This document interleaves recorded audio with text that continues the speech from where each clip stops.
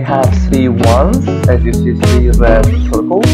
Then we have four tens, one, two, three, four, orange, orange circles. And then we have one, two, three, four, five hundreds. So we have three ones, uh, four tens, and five uh, hundreds. 30 seconds left.